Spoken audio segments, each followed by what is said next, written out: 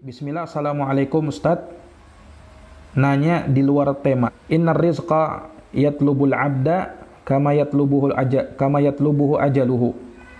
Artinya rezeki akan mengejar seorang hamba seperti ajal mengejarnya.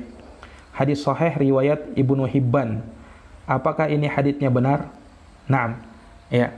Hadisnya sahih ya. Ini hadisnya sahih diriwayatkan oleh uh, Imam Ibnu Hibban dan selainnya Abu Nuaim juga meriwayatkannya. Dan hadisnya disahihkan oleh Syekh Al-Albani rahimahullahu taala dalam Sahihut Targhib dan juga Syekh Syuaib Al-Arnaud ya rahimahullahu taala juga mengatakan isnaduhu jayyid sanatnya jayyid. Nah hadis ini. Innar rizqa yatlubuhul abdu ya yatlubuhul abda kama yatlubuhu ajaluhu. Ya sesungguhnya rezeki itu akan mengejar seorang hamba sebagaimana dia akan dikejar oleh ajalnya sendiri.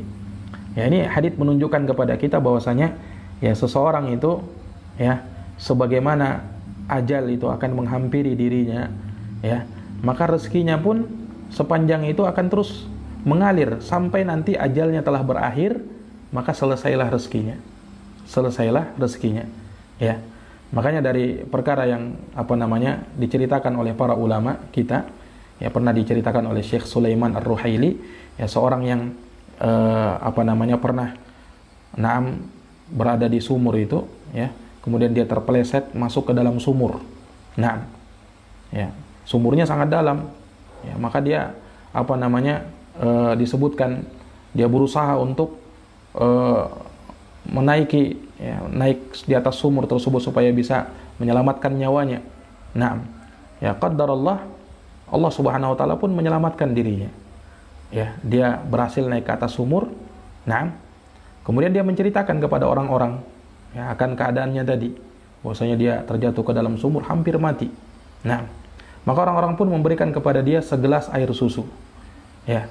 Kemudian orang-orang meminta kepada dia, ya bagaimana Bagaimana caranya kamu bisa terjatuh ke dalam sumur tersebut? Nah, maka dia pun memperlihatkan kepada orang-orang, ya, bagaimana apa namanya e, ceritanya tadi dia sampai jatuh ke sumur. Dia bawa orang-orang ke dalam sumur tadi, ya, nah, dia praktekkan. Nah, tadi saya begini dan begini. Allah jatuh lagi orang tadi ke atas ke dalam sumur. Dalam keadaan orang memperhati melihat dia.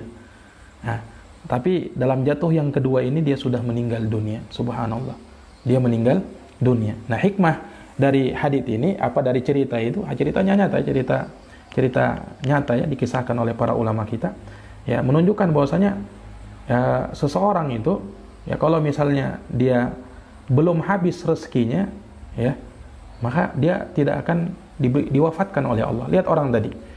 Ketika jatuh dia pertama ke dalam sumur, ya dia berhasil naik ke atas. Kenapa rezekinya masih ada? Yaitu segelas susu tadi. Ya, kemudian setelahnya qadarullah dia jatuh lagi dan mati di situ. Kenapa? Rezekinya sudah habis. Maka dia diwafatkan oleh Allah Subhanahu wa taala.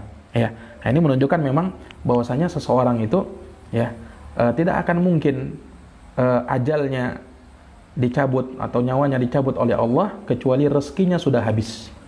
Ketika rezekinya sudah habis, maka tidak mungkin seseorang itu bisa hidup lagi di dunia ini. Nah, ini para jamaah sekalian yang dirahmati oleh Allah Subhanahu wa taala. Baik.